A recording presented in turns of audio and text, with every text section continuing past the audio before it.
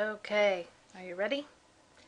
Today's study tip says the bridging game. For each chapter, write new terms on a small slip of paper. For example, membrane, enzyme, protein.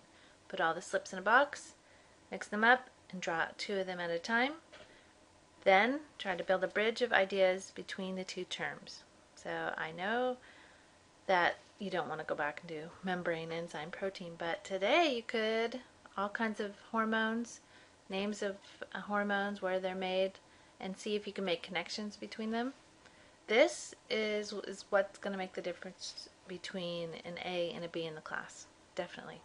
Being able to make connections between terms and things that are, don't seem totally related, uh, if you can relate them, that means you have a really good understanding. All right, chapter 11, part 2. Last time we did second messenger system. We learned about um, different types of hormones. We're kind of general in how, you know, the uh, receptors work and things like that. Today we are doing specific names of hormones. You need to know the name, where it's made, its target, and what it does when it gets to the target. And there are about 20 of them today. Now your book has a longer list. I don't expect you to know all those. You can, of course, look at them and read them. You might be interested in them. But today you're going to have plenty to do just from the lecture. All right? So first of all, to remind you about the anatomy, we always start with our anatomy review. Here's the hypothalamus, and there are hormones made here that are stored in the posterior pituitary. And in the front, here, anterior pituitary. There are six hormones we're going to learn about. But these two, made um, in the hypothalamus, stored in the posterior pituitary, are ADH and oxytocin. And so it says produced here, ADH and oxytocin produced here, and released here. Okay, and they go into the bloodstream. So remember, we're doing hormones, right? So the two hormones from the posterior pituitary are anti-diuretic hormones. So let's, before we read there, what do we think a diuretic does? What is a diuretic? If you have a diuretic, what does it make you do? Makes you go pee, right? Makes you increase urine output. So what does an anti-diuretic do? It decreases urine volume. Yeah, right. So, but if you decrease urine volume, urine volume is really about keeping the blood happy. So if urine volume goes down, what happens to blood volume? It goes up. Right, now blood is going to be a big part of about three or four lectures coming up soon. So we'll start learning that stuff now with ADH. Okay, so it decreases the water in the urine and it stimulates the kidney cells to reabsorb water. So that's how it does. That's its target, okay, the kidney cells. And when we get to the renal system, we're going to learn details about how it's going to do that. Second, oxytocin. Name brand of this one, Pitocin. Have you ever heard of a woman getting Pitocin? Why would she get that? Do you know? So she's she's not having strong enough contractions. Her labor's not going forward. She's pregnant, not being able to deliver the baby. Or they go, you know what? Today's the day. We need that baby out. Uh, you're having high blood pressure or whatever the problem is. Baby's not doing well. They give her a shot of Pitocin, and that will start contractions of the uterus to get the baby out. So Oxytocin is the one that the brain makes, and it stimulates contraction of the uterus muscle. Technically, do you remember the layer of the uterus that is muscle? It's called the myometrium. Mm-hmm. There's your anatomy. And, uh, of course, after the baby is born, it stimulates milk let down from the breast. So there are muscles there also to squeeze out the milk for the baby to drink. So those are the two. The anterior pituitary makes six that we need to know. First of all, also related to pregnant women is the first one called, I'm going to start on the left here, prolactin. Prolactin, lact mean comes from the word, what word? Lactose, right, which is milk sugar. So prolactin um, also is, is going to um, signal the production of milk in the mammary glands. Then we have growth hormone, growth hormone tells your body to do what? To grow, yeah. And it has, you have receptors on adipose, muscle, and bone for growth hormone. Of course, as you get older, I think we mentioned this, the you don't have those receptors anymore, so the growth hormone's not going to work. Um, gonadotropins go, are, are going to go to the gonads, right? And so that's the ovaries and the testes. The first one is called FSH. It stands for follicle stimulating hormone. It was first discovered in the female, and it uh, stimulates the follicles of the of the ovary. But of course, should have known. There's a similar thing for the testes, but they didn't change the name. So even men have FSH, even though it's called follicle stimulating hormone. The fourth one is LH, stands for luteinizing hormone. Luteinizing hormone is involved with the corpus luteum from the ovary. Do you remember that word? Excuse me, when I take a drink. And for the for the men, they also have luteinizing hormone, even though the name didn't change. Next on the list is adrenocorticotropic hormone, ACTH. Do you see how they abbreviate these things? Because they're so long. Adrenocorticotropic hormone released from the anterior pituitary goes to the adrenal cortex. Yes, that's why it's. So where's the cortex? Inside or the outside? This is the medulla. This is the cortex, the outside. Mm -hmm. So, and we'll talk about what it does when it gets there. Uh, TSH stands for thyroid stimulating hormone. You should know this one from doing the uh, PhysioEx on the rats. Okay, TSH, thyroid stimulating hormone, stimulates the thyroid. Okay, so you, this six hormones you need to know their name, where they're made, here they're made, uh, what they do and what they do when they get there. First, thyroid stimulating hormone, TSH. Now on the test you're going to write thyroid stimulating hormone, okay, then you can put TSH. Um, it stimulates the thyroid to release its hormones, and we will discuss those hormones in a few minutes. Second, adrenocorticotropic. Try saying that. Try saying adrenocortico. Now try saying adrenocorticotropic. Adrenocorticotropic hormone yeah, so this stimulates the adrenal cortex to release cortisol, and cortisol again from the word cortex. Okay, and you know cortisol, hydrocortisone, all that stuff for inflammation. We'll talk about that in a minute. Number three, follicle stimulating hormone, FSH, um, tells the ovaries to signal egg maturation. Technically, we don't have eggs. I don't know why I wrote egg. We're not chickens. Ova maturation, and the testes to signal sperm production. Luteinizing hormone tells the uh, ovarian follicles to ovulate the egg and the testes to produce testosterone. Those we'll cover a lot more when we get to reproductive at the end of the semester. Growth hormone tells um, the liver to produce somatomedins, which are for growth. Soma, what's soma mean? Soma means body, right? So to grow the body. Uh, growth hormone tells bone and soft tissue to grow. And then there's these stories, they're not diseases, but they're, you know, medical conditions. Um, one is about, you know, the really tall people, the giants, yeah, and then the little small people that are like 14 inches tall, uh, dwarfism. Those are real things. They do happen. I am a big fan of that Ripley's Believe It or Not place. You know, and there's one in uh, Fisherman's Wharf I love that place. I love the freaky stories.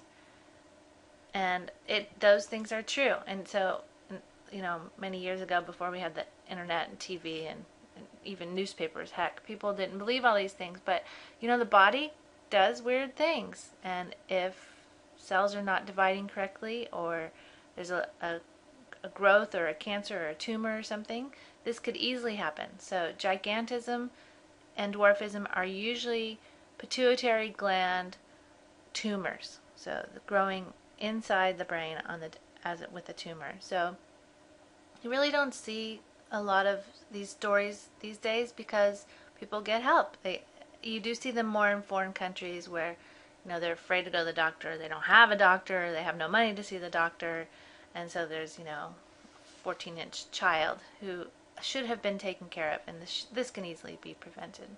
So if kids are not growing, doctors notice. That's why you take your kid to the pediatrician for checkups and they can see now if you're short people and uh, you have short parents, right? But if, if your parents are tall and you're short as a seven year old, eight year old, nine year old, they might consider giving shots of growth hormone. Oh, shots. Yeah, how do you take it? As a pill or a shot? Take it as a shot. hmm And it's painful. I, I have a friend whose son gets growth hormone shots, and, and she says it hurts quite a bit. Number six, prolactin, breast development, milk production, prolactin. So a couple of these you only see in pregnant women. All right, next. To control the anterior pituitary, it's actually the hypothalamus that does it. So the hypothalamus makes um, what we call neurosecretory neurons. So here it's going to make hormones that come down and control um, these green dots here, releasing hormones. Okay, so from these neurons coming down, there are neurotransmitters that come through here and tell these what to do. So really, uh, the hypothalamus we say is the boss, the master gland, because they make the two hormones for the posterior pituitary and they actually control the six from the anterior pituitary. So the role of the hypothalamus are the neurosecretory neurons are there your book has a whole list of all the names. They are stored in the posterior pituitary, and then there are releasing hormones. These command the anterior pituitary to release or maybe inhibit one of its six hormones.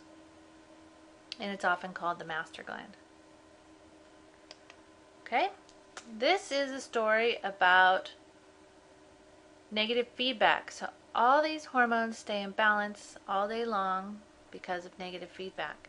So here the hypothalamus makes a hormone that we saw in the rat lab called thyrotropin releasing hormone, TRH. Thyrotropin releasing hormone just goes down to the anterior pituitary, not very far, and it says, okay, you release TSH. All right, and the TSH goes to the thyroid. The thyroid releases thyroxin, and eventually it gets too high, thyroxin gets too high, and so there's a negative feedback to say, shut it down, our thyroxin is too high. And of course, you get growth of the thyroid, right? When you turn on the thyroid with the TSH. Then, when there's not enough thyroxin, this negative feedback loop stops and it goes back up again. So, it's perfect example of the homeostasis we talked about in the first day. Okay, so now we're going to go to the names of the hormones of the adrenal gland. So here's orienting you, right? Kidney, adrenal gland on top. If you dissect it, I don't know. I had I taught students this in anatomy. I don't know if you had to learn this. It's connective tissue on the outside, zona glomerulosa, zona fasciculata, zona reticularis, adrenal medulla. I'll just need you to know cortex here, okay? Cortex and medulla. The adrenal cortex hormones are steroid hormones. So ding ding that tells you that you know the mechanism of action, right? So there's not going to bind to a receptor on the plasma membrane. It's going to instead be transported through the blood, slip right through. These are all things you learned last time. It's going to bind to its receptor inside, dimerize. Remember all that? Okay, so the first one is called mineralocorticoid. Try saying mineralocorticoid.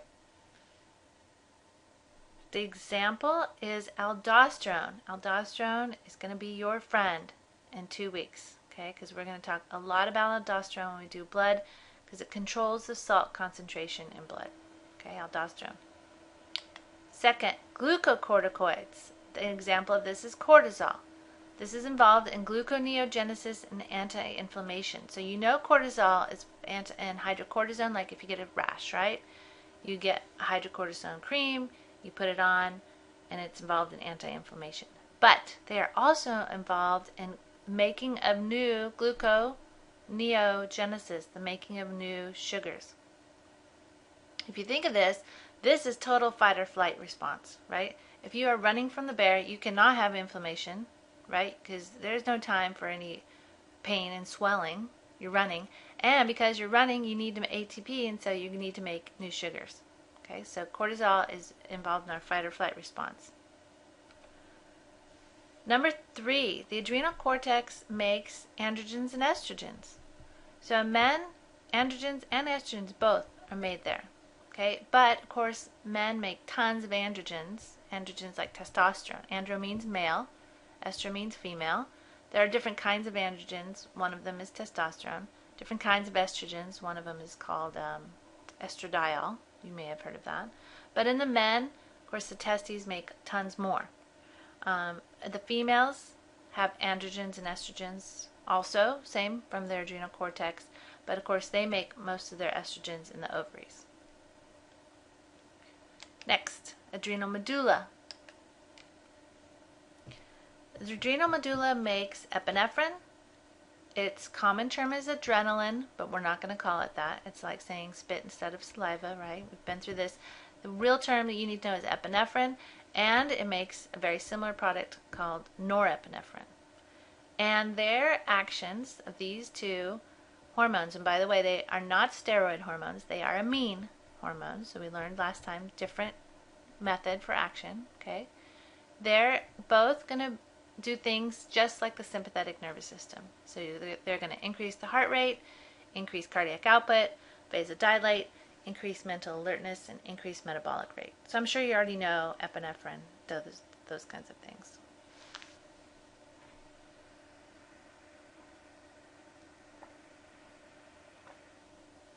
Next, fun fact. Some people believe that they are addicted to their own adrenaline and choose to live with stress in their jobs, relationships, and finances. There is a support group called AAA for them, Adrenaline Addicts Anonymous. I don't know. Get this stuff from the internet. I don't know if you can believe all my fun facts. But yeah, don't you know those friends? The drama queen? Yeah? Like, really? Just relax. It's okay. Thyroid gland. There it is. Can you find yours? Right underneath the thyroid cartilage, thyroid gland. It makes two hormones you need to know. One called um, triiodothyronine on the bottom. Triiodothyronine.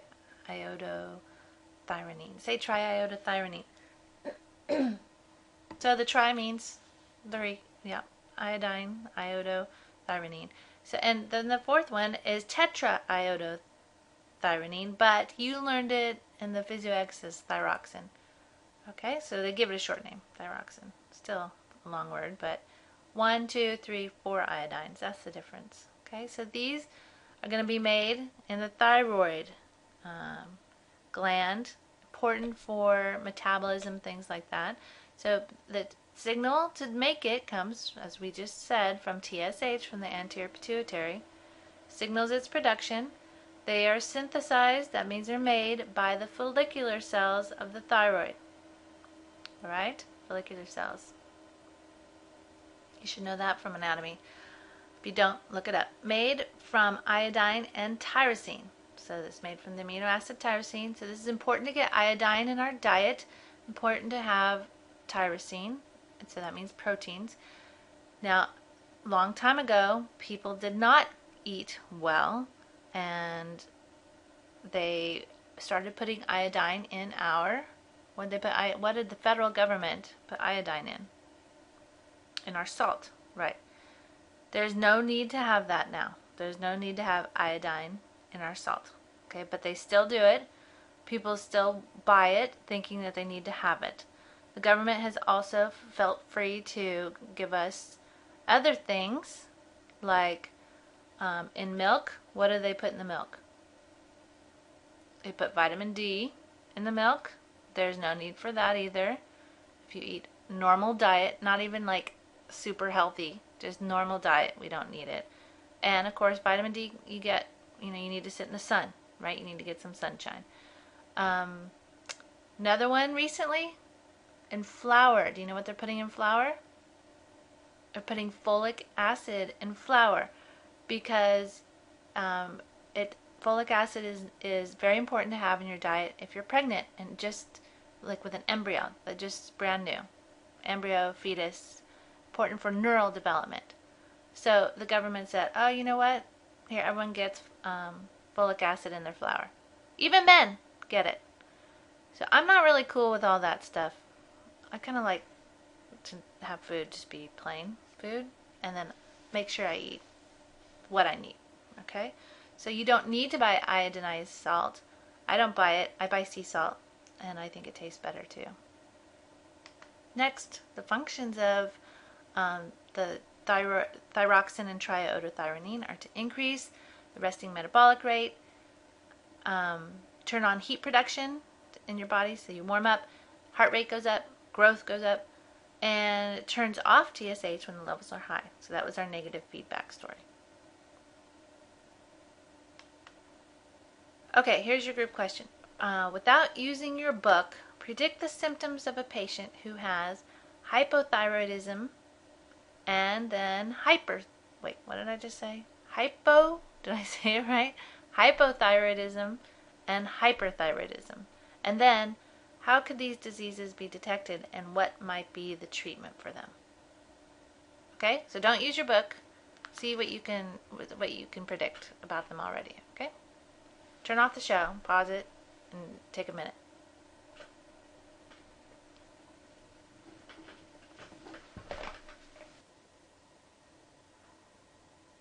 Okay, the person hypo means means low, right? So they have hypothyroidism. They don't have enough of those hormones. So what would you expect their heart rate going back? Heart rate would be low, heat would be low, growth would be low, metabolic rate would be low, right? All of them low. They would um, feel sluggish, tired, they'd want to nap a lot, wouldn't have energy. They, what about their weight? They would probably be overweight, right? Because they have a low metabolic rate. And how would you check for this? How would you know if someone had this? That's it. A blood test, easy. Can have it checked. I'll go to who specializes in all of this? Who specializes in hormones? What's their name? It's called an endocrinologist, right? So someone who would have hypothyroidism would have to take. A lot of people take. Um, oh shoot, I can't remember synth, or something like that. There's there's um, synthetic, and then there's um, bio biologic bio I don't know bioidentical hormones. I think they might call them different kinds of hormones that people could take for this. But the problem with like, any of this is, you know, when you take a drug, it's just a band-aid, right? It doesn't really fix the problem. So taking the drug will give them the hormones they need, but like why is it not working in the first place? So that takes a lot more work, a change in lifestyle, diet, and all that stuff. Hyperthyroid would be just the opposite. What would their resting metabolic rate be? High heat production, high heart rate, high, right? So this um, hyperthyroid, the person would be hot, they'd be thin, they eat a lot, and it's actually um, very dangerous to have hyperthyroidism as it is hypothyroidism. And this is the one that you can sometimes tell people are hyperthyroid because their eyes kind of bulge a little bit. Um, I met somebody recently for the first time, and her eyes were bulging a little bit, and I was like, oh, I know her story. And of course, she was thin, and um, later she was talking to me about her hyperthyroidism. And I thought, yep, I already knew that just from looking at her. So this, uh, a story many years ago when the Olympics were in Los Angeles. Jackie Joyner Kersee was her name, and she was um, a Olympic athlete, superstar with hyperthyroidism excellent shape. She was famous for her long fingernails she had when she would run. Um, she was a sprinter. She would run a race, you know. She'd get down on the ground on on her fingernails. She would hold onto the ground and then she'd take off. And she would go around the country after winning her gold medals and speaking about the dangers of hyperthyroidism. And tragically, she died from it. And she was only like 48 years old, healthy athlete, um, and but it's it puts a lot of strain on the heart. Okay, so hyperthyroidism, just because they're skinny doesn't mean it's healthy, right? Got it. Calcitonin. Production made by the C cells of the thyroid. So we just did follicular cells. Now we have C cells. C cells of the thyroid. Um, you should know that if you haven't seen that. I'm making a note here. I have to write something down with it. C cells. Gotta write that. Um, the function is to inhibit the osteoclasts and stimulate the kidneys to release calcium. So that means release meaning into the urine. So blood calciums, uh, blood calciums, blood calcium levels decrease. Okay? Sorry, I'm still making a note. Okay, got it. Second, opposite. Always a pair, kind of, huh? Right? So if one makes the calcium go down, the other makes the calcium go up. So if calcium drops, the parathyroid glands, which are on the back of the thyroid, there's like little, maybe 8 to 10 of them or something, um, makes parathyroid hormone, tells the kidneys and the bone to bring calcium into the blood. And of course, this is a negative feedback loop. Okay, so there's less leaving now. So just the opposite of calcitonin. Parathyroid hormone produced by the parathyroid gland stimulates the osteoclasts, so blood calcium levels increase. Is that it? Next, pancreas. Now we're going to talk about the pancreas and the digestive system in a few weeks. Um, for now, we're going to focus on the islets, the pancreatic islets. So we have the beta cells and the alpha cells that we're interested in. The glucagon, made by the alpha cells of the islets, increases blood glucose levels and takes glucose out of storage. Okay, got that one? Opposite, insulin. Who makes it? The beta cells. And this will decrease blood glucose levels, stimulate glucose transporters, right? So we have those transporters there. We need to insert them into the membrane, plasma membrane, so that they can start transporting. It's also going to signal glycogenesis, the making of glycogen, triglyceride storage, and protein synthesis. So tell me again, which one is made after you eat a meal? Glucagon or insulin? Insulin, right. When you're hungry, glucagon. Got it. This takes us to the story of diabetes. We talk about diabetes a couple times in a couple times in the class, yeah. At least. The first one um, is called type 1 diabetes mellitus. Say diabetes mellitus. Type 1 is an autoimmune destruction of beta cells. So we have several different kinds of uh, autoimmune diseases that people get. We don't know why. All of a sudden the body decides to freak out and we've talked about multiple sclerosis this way, right? With MS, the body was fighting the myelin. With um, diabetes type 1, it's fighting the beta cells. Can you believe that? It just says, hey, you, beta cell, attack. And it attacks its own beta cells. These people, therefore, do not make insulin. They have to have insulin shots, and they are called insulin dependent diabetics. It is often diagnosed in children. So if you see a child with, with diabetes, it's not because they're fat and overweight and not eating right. It's because they are their body is going to destroy its own beta cells.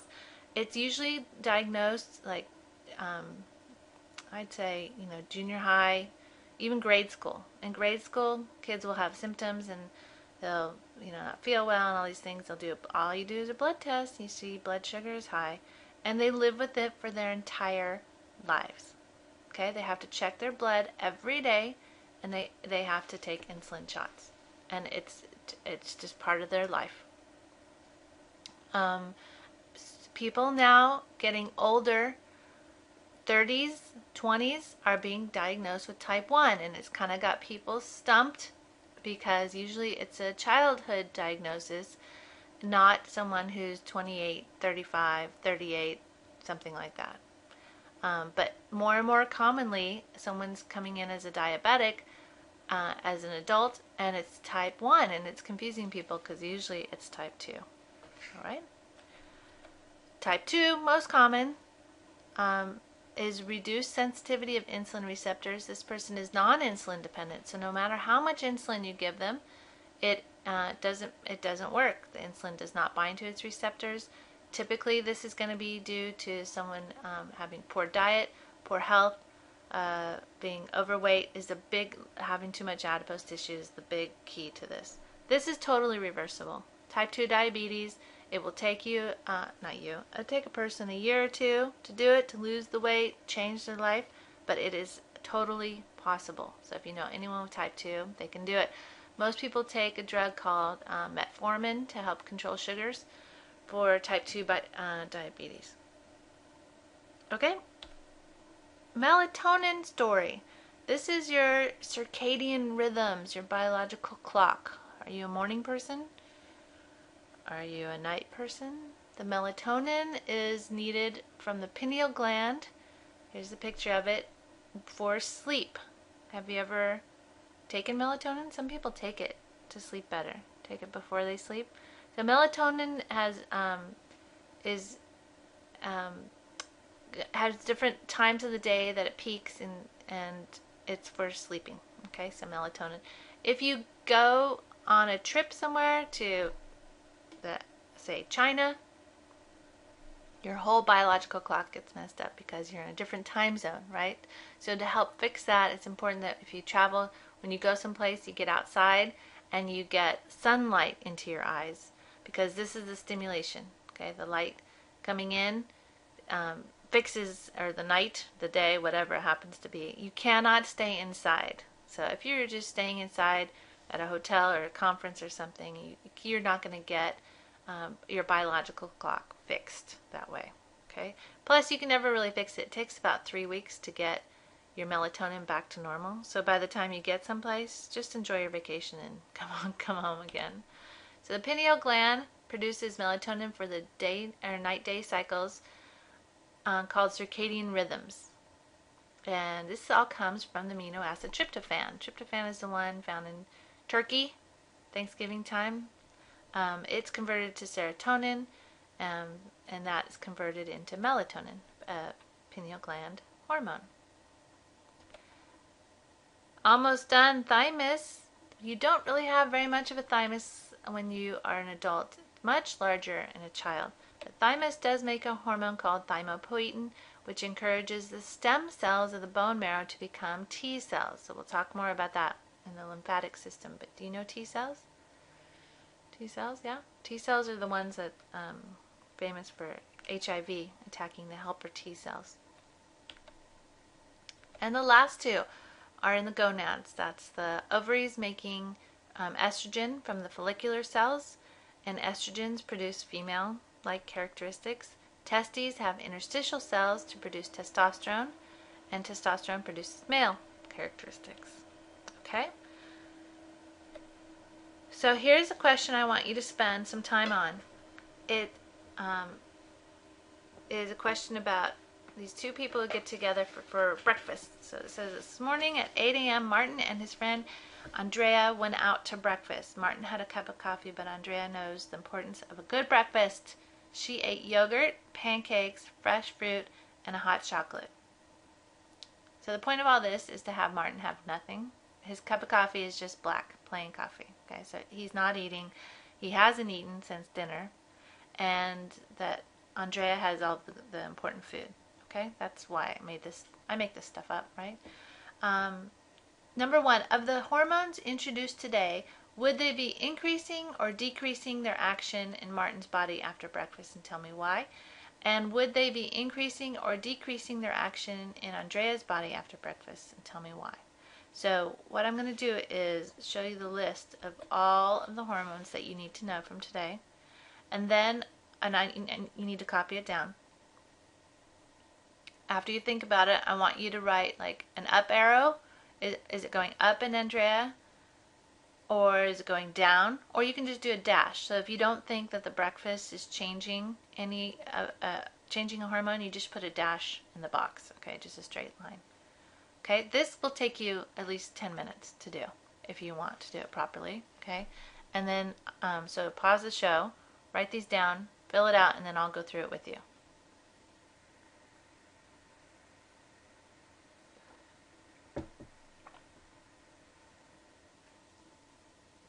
Okay, first is ADH, anti-diuretic hormone. So Andrea had lots of um, water. Martin, pretty much not. I mean, he had a cup of coffee. That doesn't really count. So, who needs anti-diuretic? Who needs to save, right, eh, because anti-diuretic saves water, right? Save it in your blood. Who needs that, Andrea or Martin? Martin does, right? Let me find my, let me find my pen. Let's see, pointers, green, felt tip pen. So let's do the pen. Let's see if we can get it. Martin needs um, anti-diuretic hormone. So let's put an up arrow here.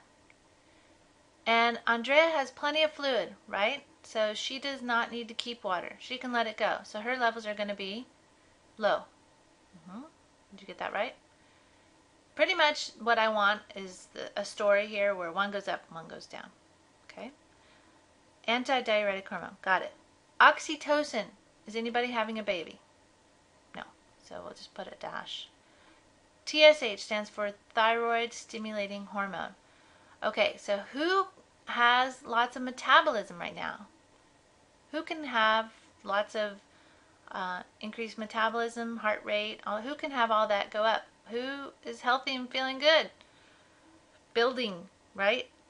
Andrea is. So her TSH levels are high. And by the way, this goes where? Where's where does TSH have its action? At the thyroid gland, right? So therefore, we might as well go down and do T3 and T4. If she is eating, she can build, she's got good times, we're going to give her an up here too. Okay? Whereas Martin cannot have a high metabolism right now. His heart rate is not going to be able to be high because he's tired. Drinking coffee, which just has caffeine, which is artificially making his heart rate go up. So let's give him a down, okay? TSH down, which also means then that the T3, T4 is not going to be released. Okay?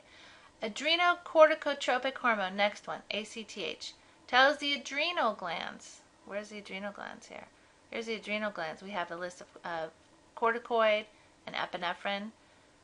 So let's see, adrenocorticotropic tells the adrenal glands to release cortisol, epinephrine. This is this is Who's stressed right now? Andrea? Andrea? However you want to say her name. Andrea or Martin? Who is stressed out? The person eating or the person not eating? The person not eating is stressed. His epinephrine is high because he is tired. He's not eating. His cortisol levels are high. And so we can go back to his ACTH and say, well, geez, if those others are up, then this must be up to make those go up okay? Whereas Andrea, she's doing rest and digest, right? And she's eating.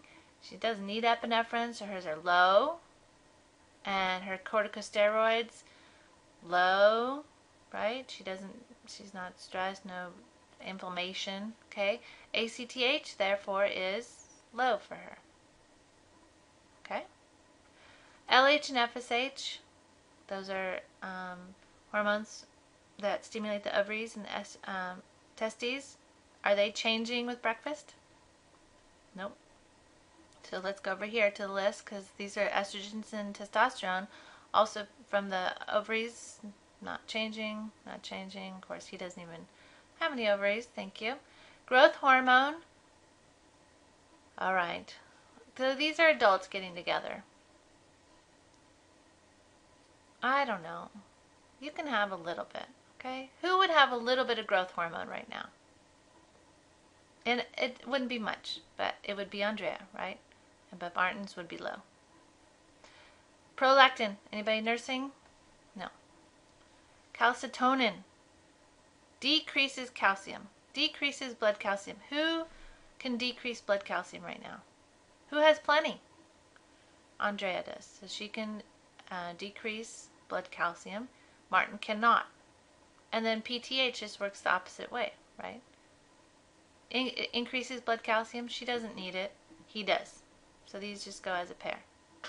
Same with glucagon and insulin. So tell me again, after you eat, which one is highest? Insulin, so that's Andrea. So she's up for insulin, down for glucagon. And Martin, just the opposite, right? He needs to pull sugar out of storage, so he's going to increase his glucagon and he's going to decrease his insulin. Does breakfast change melatonin? Not really. It will be changing at that time, but not because of that. And does breakfast change thymopoietin, the making of T cells? No, not really. All right. How do you feel? You feel good, right? Time to get started. Gonna start memorizing these things. I know the exam's not for a little bit, but you got to get these into your long-term memory, okay, and then pull them back out again right before the test. All right, we are done. Good job.